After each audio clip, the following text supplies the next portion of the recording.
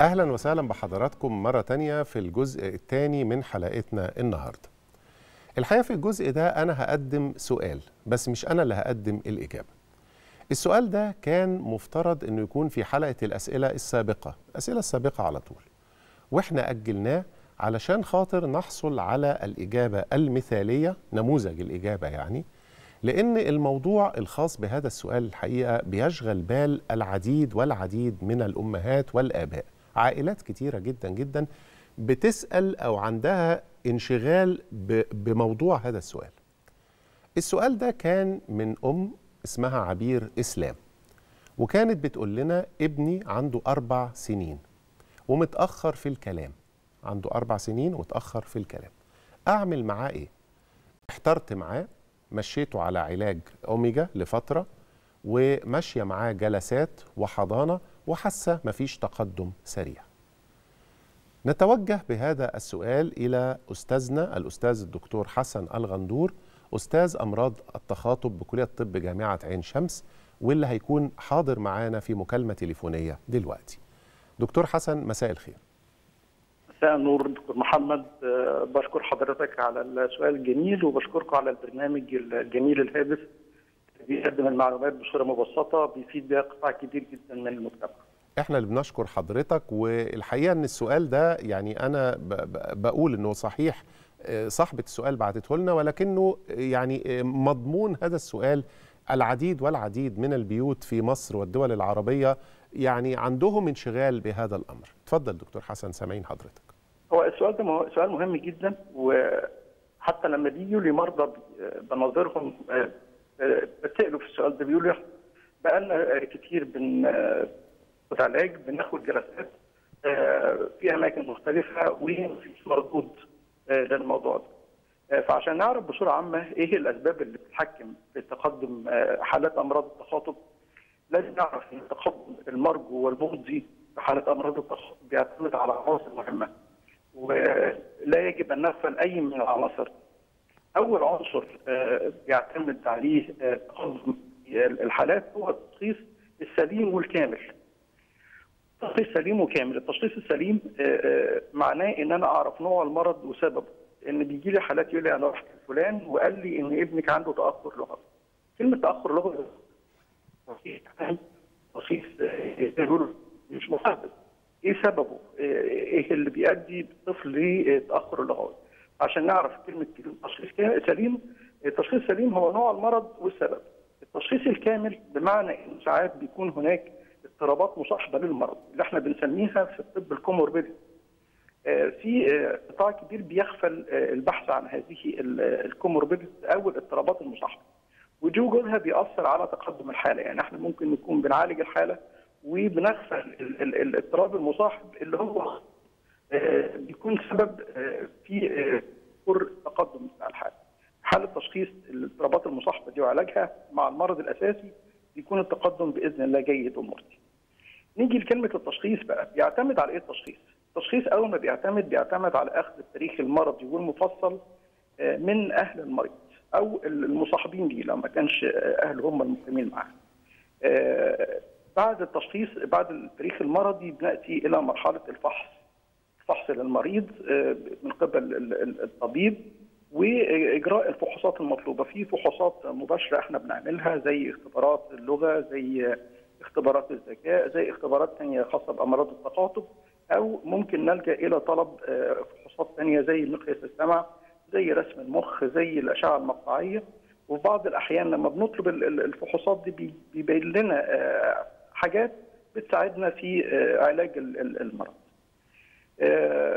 فالإجراء الفحوصات المطلوبة من قبل طبيب أمراض التخاطب للوصول لتشخيص بعد كده بيتم عرفت السبب عرفت المرض عرفت الاضطرابات المصاحبه بنبتدي نحط خطة علاجية مفصلة واللي بيكون الأهل جزء مهم جدا مشارك فيها. الأهل دايما بيبقوا العنصر قبل جلسات التخاطب. يعني الأهل بيجوا لي بقول لهم لو أنتم مش هتشاركوا معايا الطفل هياخد معايا أو هياخد في المكان كام جلسة في الأسبوع. ثلاث جلسات مدتهم هيبقوا قد إيه؟ لو شفت المده اللي بيقعد معاكم في البيت فيها أكيد هتبقى أكتر بكتير جدا. فاعتمادكم على الجلسات فقط مش كفاية. لازم أنتوا تشاركوني ولازم أنا أرشدهم إزاي يشاركوني. مش هقول لهم اتكلموا مع الطفل وبس لا لازم بحط لهم حاجة اسمها الأرشاد الأسري المفصل اللي أنا بشرحه لهم وبشرحهم إزاي يطبقوه في البيت فالأهل بيبقوا جزء مهم جدا مشارك في العلاج عن طريق الإرشاد الأسري اللي بنوجهه وبنيجي لنقطة مهمة جدا. إحنا حطينا الخطة العلاجية. كفاءة القائم بتنفيذ الخطة العلاجية. وده عامل مهم جدا. يبقى عندنا العناصر اللي تتحكم في تقدم الحالة علشان نلخص الموضوع. هو تشخيص سليم ومفصل وكامل. خطة علاجية مفصلة وجيدة. مشاركة الأهل وكفاءة المعالج في تنفيذ الخطة العلاجية. بالنسبة للنقطة اللي هي قالت أنا بديله أوميجا. أيوه. برضو الأوميجا 3 من الحاجات اللي آه ساعات بتفيد الأطفال. بقول ساعات بتفيد الأطفال. مش في كل الأطفال بل إن بعض الأطفال اللي بياخدوا الأوميجا 3 ده بيزود حركتهم بيزود النشاط بتاع الطفل فما بديهوش empirical أو ما بديهوش بدون سبب. إحنا بنديه في حالات معينة فقط لا غير مش في كل الحالات. لكن دلوقتي حاليا بقى برضه من الحاجات الشائعة جدا جدا جدا إن أي طفل عنده اضطراب في أمراض التخاطب ولا حاجة أول حاجة نعملها نكتب له أوميجا 3 فده برضه من الحاجات اللي إحنا لازم ناخد فيها محاذير إن إحنا مش بنكتبه لاي طفل طيب هي برضو ذكرت في السؤال يا دكتور حسن إنه هي ماشية معاه غير الجلسات وغير الاوميجا اللي هي ذكرته هي بتقول ماشية معاه كمان إنها بتوديه حضانة فهل هنا الحضانة في وجود تأثر لغوي أو يعني إن لسه الطفل مش بيتكلم بشكل يعني مثالي بيكون عامل مساعد ولا عامل معطل؟ لا هو المفروض إن هو ما يكونش عامل معطل هو آه. في الغالب بيكون عامل مساعد آه بس ال- ال- الحضانة بتعمل إيه مع الطفل؟ ففي حضانات اللي بي- السلوك اللي بيستخدم في الحضانة مع الطفل بي بيأثر عليه سلبا.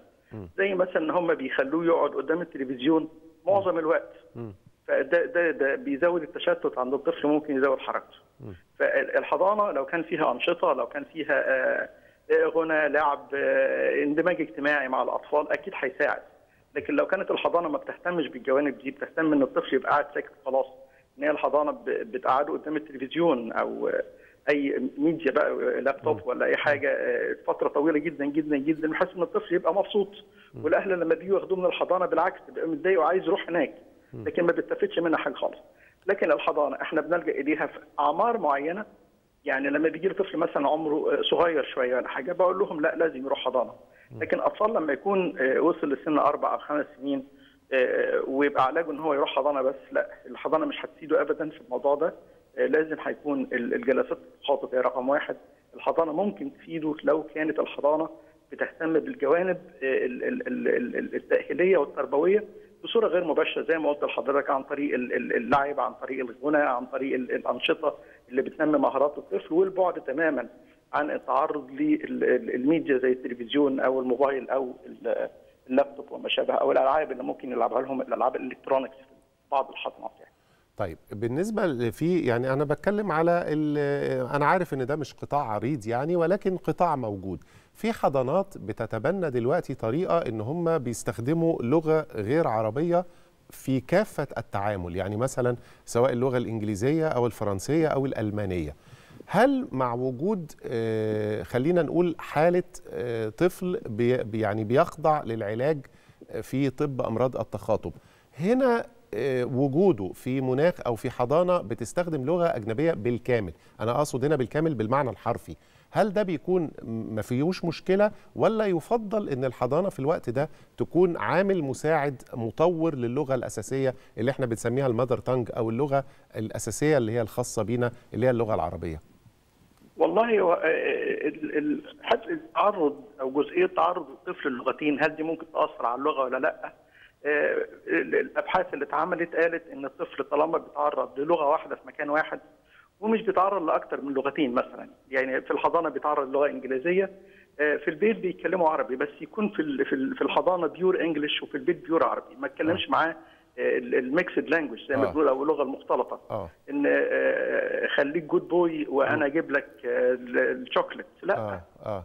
ما- نتعاملش معاه بهذه ال- ال- اللغة المختلطة. لازم تكون لغة واحدة في صحيح. مكان واحد. آه، وكمان لو كان الطفل مثلا رايح للحضانة وهو آه، بقاله مثلا عنده رايح أول مرة يروح حضانة عن ثلاث سنين ونص أو أربع سنين وكل اللغة اللي اتعرض ليها في حياته كلها كانت لغة عربية. ما يجيش أنا في السن ده وأروح مقدم له لغة تانية ما سمعش عنها حاجة خالص. آه. آه، انت فاهم حضرتك؟ فدي مش هتكون مش عامل مساعد ليه. لكن يفضل إن الطفل يتعرض لل mother tongue بتاعته وفي حالة تعرضه للغتين فإحنا بنثبت لغة في مكان واحد. يعني الحضانة لو بتتكلم English خلاص تكلموا معاه English بس.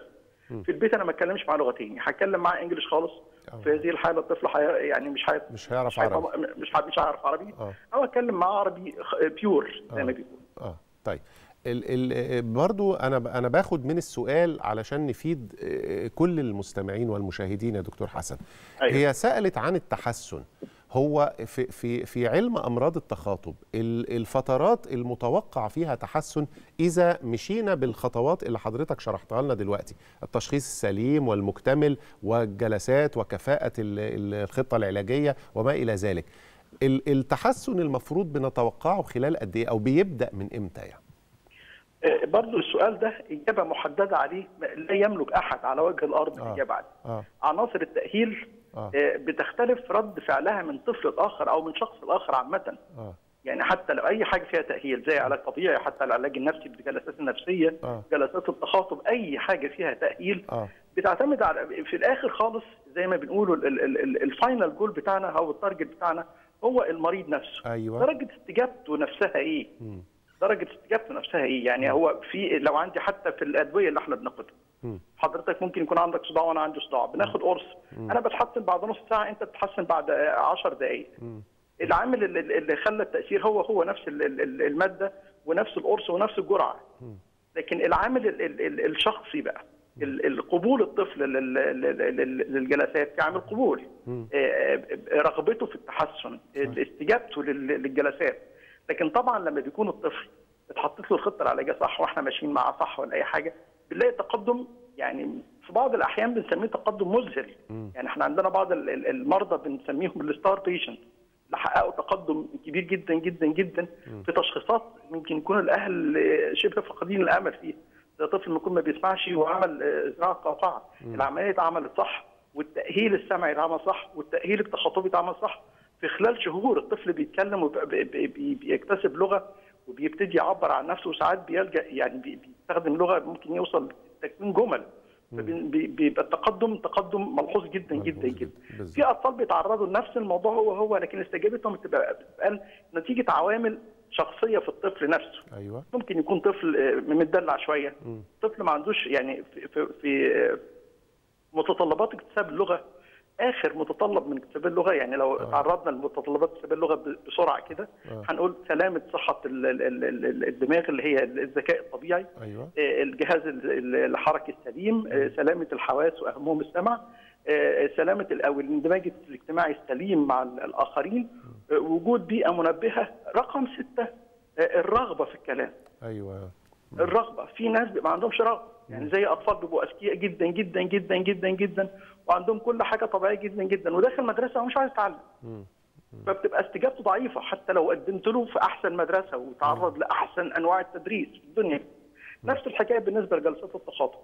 لكن ما بنقولش ما بيكونش في تقدم في تقدم بإذن الله تعالى إن شاء الله. واخدنا. بالأسباب السليمة واتطبقت صح أكيد. ومشاركة الأهل والجلسات كانت جلسات سليمة وبكفاءة لا بيبقى في تقدم. لكن تحسن التقدم حساب الوقت بالظبط عمري ما قلت الاهل ثلاث أشهر. آه، شهرين صحيح، سنة صحيح. بقول له أنا ما أقدرش أقول لك حاجة تكون over estimation أو under estimation يعني تقي- تقدير أكثر من اللازم أو أقل من اللازم في كلتا الحالتين ممكن تصاب بإحباط صح. أو بقلق صح يعني أنا قلت لك ثلاث أشهر الثلاث أشهر اتعدوا وما حصلش تقدم بالظبط. لو قلت لك سنة هيجي لك إحباط سنة لسه على آه، بال ما يتكلم صحيح، صحيح. لا إحنا بناخد بالأسباب وبنقول يا رب الطفل يكون كريم معانا أيوة. ويستجيب بسرعة بإذن الله تعالى والله يا دكتور حسن يعني هذا يعني هذا الختام اللي حضرتك ختمت بيه مداخلتك ال- المهمة والعظيمة.